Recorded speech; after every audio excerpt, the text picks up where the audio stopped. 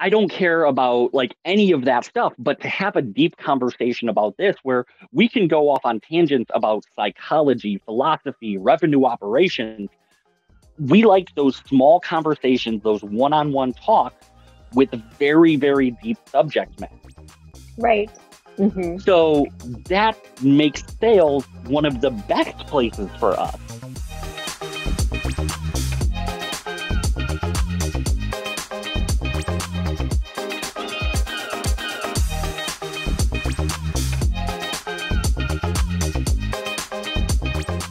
Red, thanks so much for joining me on the How to Pivot podcast. I am so happy to have you on. Welcome. Absolutely. This is going to be a blast. I'm super excited about it. Um, just because there, I've seen so many people who are ready to start making changes, but don't really understand how to yet. So this is going to be a lot of fun. Yes, and that's why I had you on the podcast. And I saw you and I thought right away, okay, I think you can bring such great value and we're going to have a great conversation. So, yes. to start us off, and this is so great as we were just chatting before I hit record, you and I don't know each other that well. And I thought this is so perfect because I can ask you all the questions that I'm thinking about that we haven't, you know, you know talked about what we're going to really say on this podcast and it's just going to be such a good way to get to know each other too well, and that's the thing is, I want it to feel as I like if people are watching this as a video, you'll be able to yeah. see the hamster running around in the wheel in my head. um, like that's I want it to feel as real as possible. Yep, and that's what we're all about. So maybe give the audience a little bit, and for me, a little bit of background. You are referred to as the unsales guy, and you're a sales coach, and you just launched a new course for sales for introverts. So build upon that and let us know who you are and more about what made you so passionate about sales and introverts. So, like most best stories, most of what happened happened because of a rock bottom in my mind. I've been doing mm-hmm. sales for about 15 years and I've always been good at it. Um, usually like top 25, 30% at every job that I've been at. But the problem was I was working twice as hard. I was working 70, 80 hours where everybody else was working 40, maybe 50. So, yes, I was getting better results, but my efficiency was lower than everybody else. That's not something that you can do indefinitely. So, around age 28 or so, I hit my breaking point. I was selling a product that, while it was a great product, I didn't really believe in it. I know if you're listening to this, you can't see me. I'm about 300 pounds. I look like a rejected Game of Thrones character. no.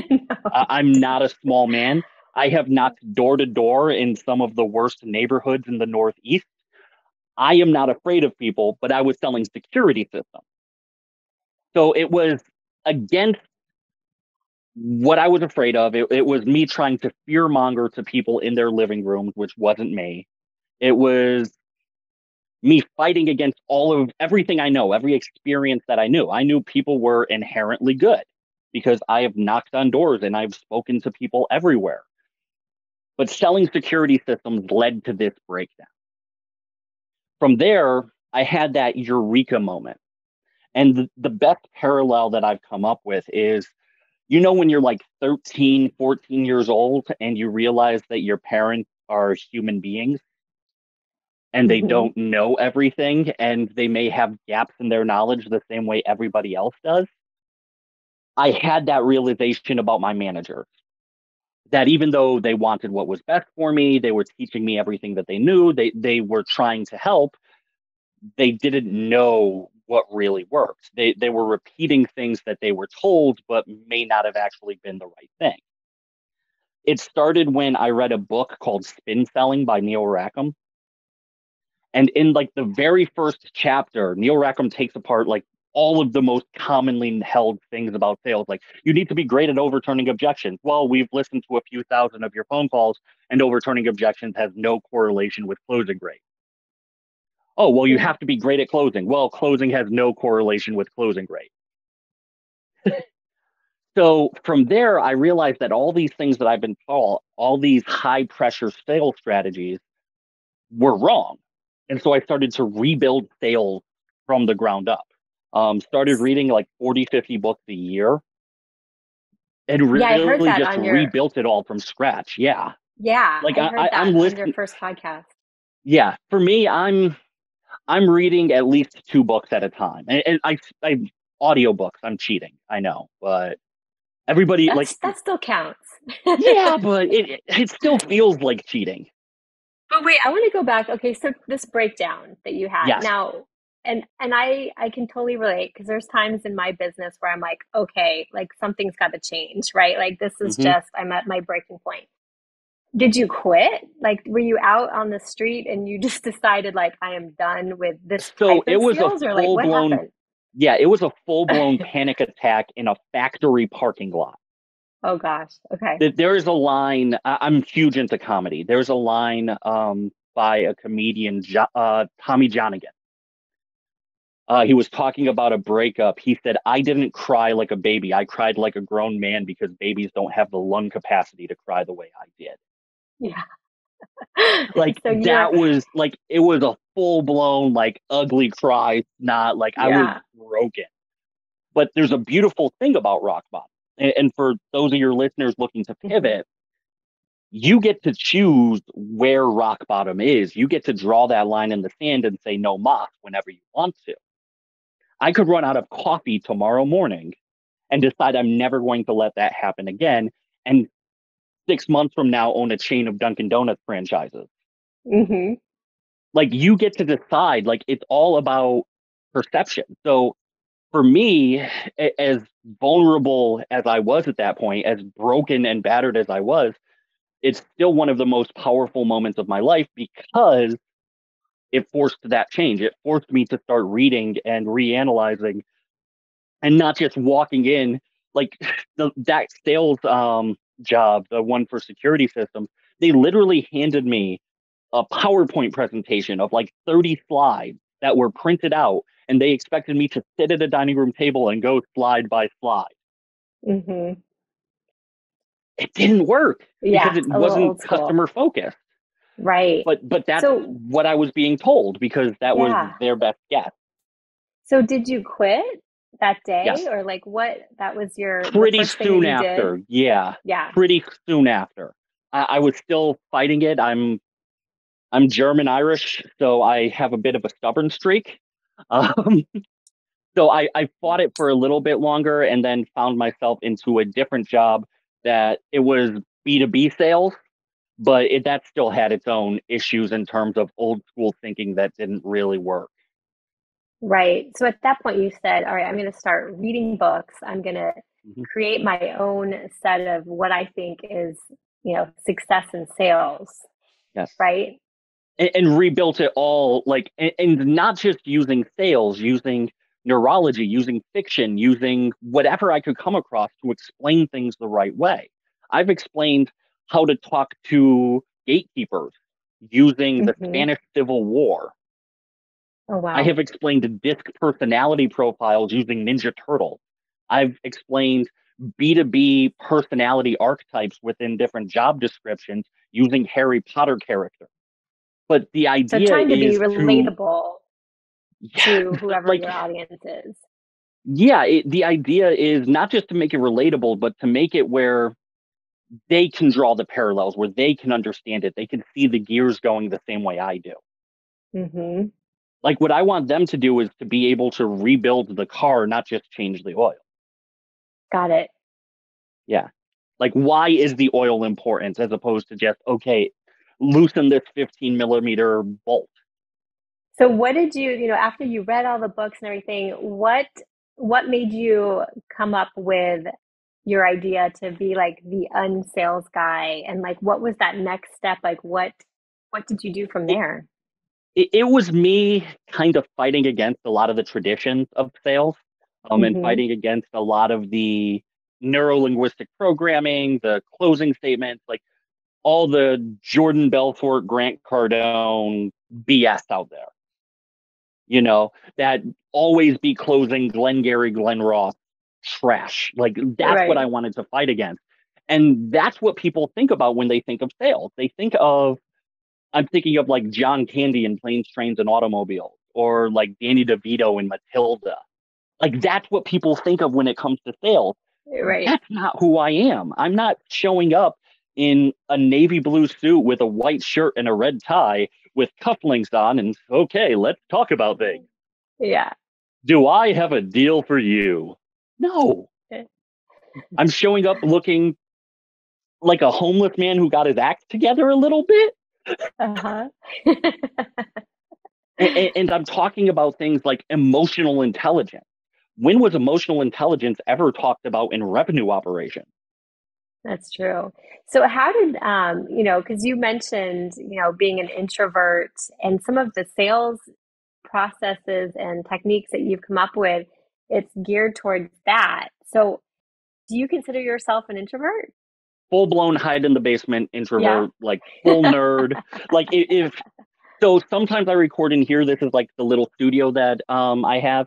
In the other room where I usually work, I have like links, like high, like the Legend of Zelda shield, the sword. Like I have a lightsaber right here. Like I am a full blown Star Wars, sci-fi, history nerd. Like I dived through everything. I spent a lot of years being that shy, awkward kid to the point where I had to learn how to make small talk from scratch. Mm-hmm. Um, literally, I have acronyms that I still teach people to this day who, if they feel uncomfortable with small talk. I love that. Yeah. So what made you decide, okay, I'm going to, you know, do something to help introverts as far as sales? Like how did that all come about? It's kind of twofold. It's one is that I saw all the problems in sales. Scripts, people just regurgitating their scripts on customers when they get them on the phone and just cannon firing them out of their mouths before they get hung up on. Um, the idea of you know, hey, make, make a hundred phone calls, set one appointment. That's a success. Like it, it's these things that can be very toxic for introverts and seeing them kind of build. Likewise, when I was doing research into introverts, one of my favorite books of all time is Quiet by Susan Cain. Mm. After reading that and understanding my own introversion better, that completely like filled in a spot that I didn't know I was missing a gear. I'll like have to read that. I've never heard of that one. Oh, it, it's one of. She's written two books right now. I will safely say that Quiet changed my life for the better. Um, and Bittersweet is the first book I read that made me feel somewhat understood. Awesome. I'll put those in the show notes too for people. Yeah, no, those were absolutely phenomenal books. Um, if you are an introvert at all, you should be reading Quiet. Awesome. Yeah, because I think a lot of introverts, and I know I'm I'm an introvert, and I have always tried to over not overcompensate, but I wanted to do things that would challenge me and get me out of the box, which is, I mean, even the podcast in general, like you and I being, you know, podcast hosts, it's not, it doesn't come naturally for me. I have to mm-hmm. put a lot, a lot of time and effort into it, more so than probably other people but it makes me but, feel better uh, once I do it. but but it's not like introverts are total social outcasts either. Right. Like right. we still need like you could go back to I believe it was Piaget and his study like with monkey like rhesus monkeys and needing connection and cuddling up with like a fake stuffed monkey to get connection. Everybody needs to be social. It's part of our the way we're wired. It's how we do it. Mm-hmm. The extroverts are okay with having a hundred shallow small talk conversations. As introverts, we aren't. I don't care what the weather is where you are. I just don't. and I don't mean that in the, a mean way, but as long no. as you're safe and given that the internet is running there, I assume that there's right. nothing deadly outside. I don't care. Yeah but I don't care about like any of that stuff. But to have a deep conversation about this, where we can go off on tangents about psychology, philosophy, revenue operations, we like those small conversations, those one on one talks with very, very deep subject matter. Right. Mm-hmm. So that makes sales one of the best places for us. Exactly but exactly. we've treated it and we've built it around this numbers game. Hey, you make 200 phone calls, you make one appointment. Introverts can't do that. So we have mm-hmm. to rebuild things in a way, change the systems that we're currently using so that we're maximizing the social battery that we do have. Right. Yeah, and I was um I just saw an article recently. So with introverts, I think, you know, a lot of times they shy away from sales in general. So yes. I wanted this conversation to be one of, you know, if people are looking for a change and maybe they're thinking about something they want to open up their horizons a bit and think about professions that they might have not looked into before, I think they should reconsider sales. 100%. So why do you think someone who is introverted, like, why do you think they would be at an advantage in sales that they might not have well, thought about before? Let me start by saying not all sales is created equal. So, as much as I fight against, again, the Grant Cardones, the um, Jordan Belforts, the Dale Carnegies, the Og Mandinos of the world, they do have their place and they are effective in the right situation. If you're going into Best Buy to buy a TV, those are the kinds of salespeople who perform the best. But in a B2B environment, something that's much more relationship focused, something that's not a one call close, that's when introverts do very, very well because we have to dig deep into those problems. That well digging that I just talked about is an advantage in a complex B2B deal Whereas if it's just what's the price of this TV, Walmart has it cheaper, it's not. Mm-hmm. So if you're thinking of switching, you need to find out what your strengths are, how you recharge, what your comfort zone is, and find something that matches as much as your of your comfort zone as possible. I'm a big believer in the hero's journey and talking about that in regards to marketing in terms of like corporations, business training. One of the great things with the hero's journey is that the protagonist has to leave their comfort zone, but they do have mm-hmm. to come back because to stay in that wilderness at all times is too deadly.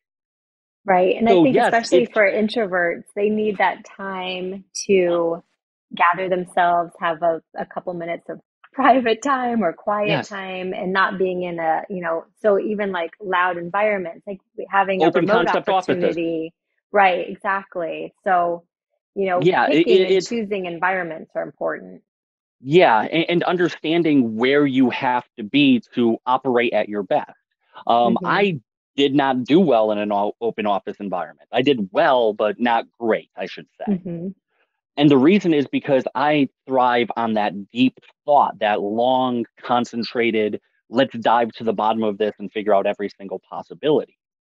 Mm-hmm. Having somebody like have their phone ring on the other side of the room, that took me out of my thought every single time. Or even somebody stands up and goes to the bathroom. Everybody's head pops up like prairie dog. right, right. So knowing, but, yeah, knowing the work environment that you excel mm-hmm. in and then finding an opportunity, whether they are, you know, looking to get into sales, just setting yourself up for success yeah. based on what you know about yourself and your, your work habits. Yeah. Like, like yeah. getting out of your comfort zone, there's a romanticism to that. Mm-hmm. But there's a reason we aren't all sitting down for our work every day on a bed of nails. Right like you need some level of comfort for it to be sustainable. Absolutely. One of the things I heard you talk about is just, you know, I think believing in your product. So when you were working at the security place, one of the reasons why it wasn't a good fit is you didn't believe in the product. So would you say like how important is that, especially for introverts when they're looking for a sales position or really anyone? You know, how important is it to to really have that passion for what you're you're selling. Is it the most important thing in the world? No.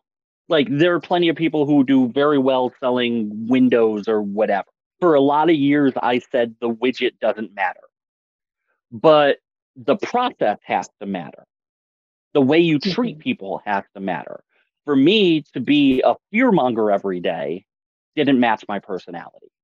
Mm-hmm. Because that's really what selling security systems is, is somebody's going to break into your house, murder your family and eat all the cookies or whatever you want people to be afraid of at that point. I couldn't do that. I, am not a fearful person, and it's not something that I want to put into other people. So mm-hmm. it's not necessarily the product, it was the pitch that was the problem for me. Right. Right. And that probably came from your leadership. So you didn't have control over it because it could be, you know, one, it could mm-hmm. be the sky is falling, but it could be that you're selling safety, you know, like you could have, not you, but. And, and, it could have been. And that was the, the, the pitch could have been different. And, and that's what the idea was. And at the end, it was meant to like, okay, well, now imagine somebody's looking for a house to break into and their headlights roll across their lawn and they see the shields that we put on your front lawn. What do you think that criminal is going to do? Right. like they're they're yeah, but it's so manipulative and like it, it didn't align with who I am. And it wasn't the change I wanted to see in the world. Now, yeah. I know that's a very millennial-ish thing to say, but if I'm working 70, 80 hours a week at something, I have to at least have some enthusiasm for it. Right. So, how did your course come about? So, the course came about because I kept running into similar people having the same issues people who are afraid of sales because they're introverts, or I run into a lot of small business owners, people who started a business because they are great at what they do. The personality I think of, I don't know if you've ever read The E Myth Revisited by Michael. Oh, Gerber. yeah. It's one of my okay, favorites. Sarah. Sarah from that book that yeah. she is a phenomenal baker but doesn't understand how to run a business. Mm-hmm. I run across those personalities specifically on LinkedIn probably once or twice a day. Mm-hmm. They are mm-hmm. phenomenal at copywriting, they're phenomenal at marketing, they're phenomenal at graphic design, like the list goes on and on, but they don't know how to sell. And so they rely on pitch slapping everybody out in the market. Mm-hmm. They just send these cold messages um, burn a whole bunch of bridges and hope they could walk across one someday. True. Yeah, I get a lot. I get a lot in my inbox. But but so many of them, they've gotten so good at what they do because they're introverts, because they're willing to dive deep and become experts on a topic. Yeah. But they don't know how to sell. And when mm-hmm. you talk about sales, they have that, you know, Alec Baldwin picture in their head where you're being this bulldozer and okay, do you want delivery on Monday or Tuesday? Mm-hmm. But that's not how you sell. I've never, for the last five years, I haven't used a single closing technique at all. Mm-hmm. My close has always been is this something you want to move forward with or not? Yeah. There's no trapping, there's no manipulation because people can sense that. And once they do, it triggers during the protest in um, 2020, I mm-hmm. heard a mm-hmm. policing term that's really resonated with me. It's called kettling. Have you heard of that before? Mm-mm.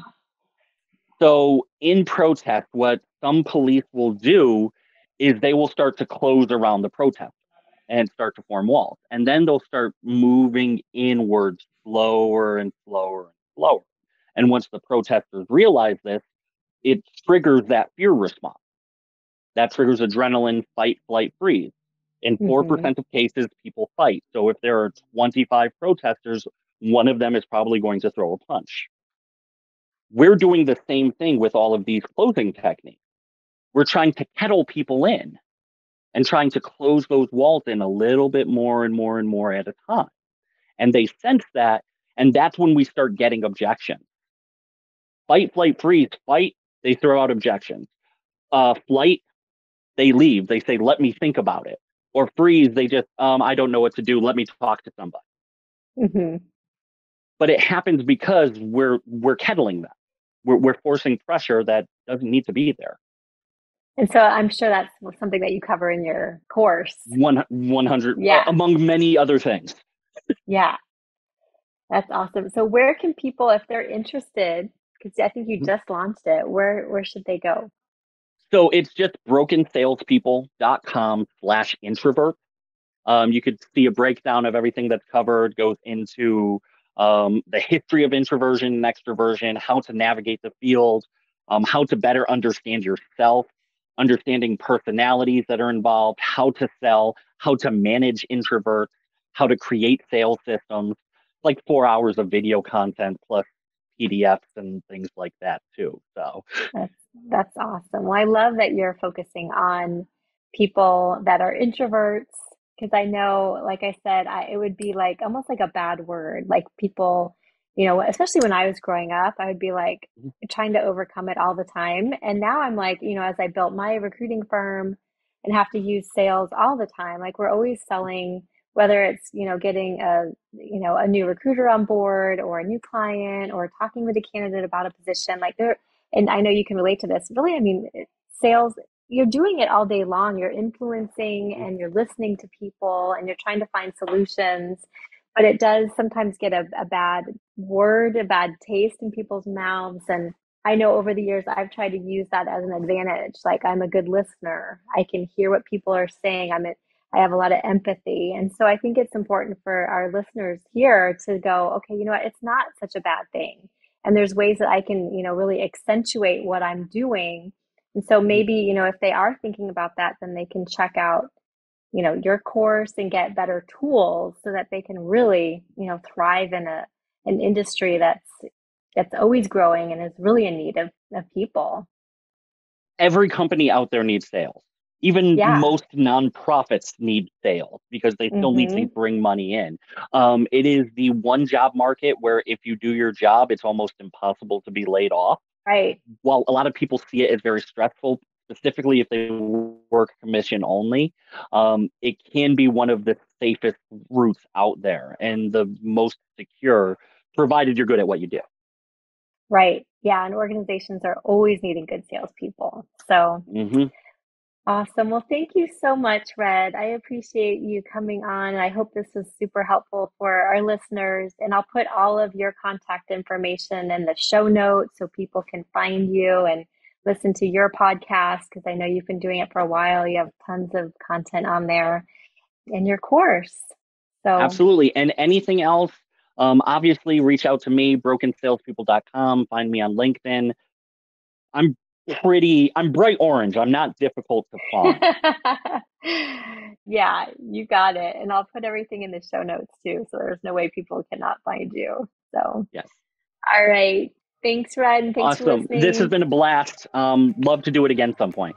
Yeah absolutely. All right bye everyone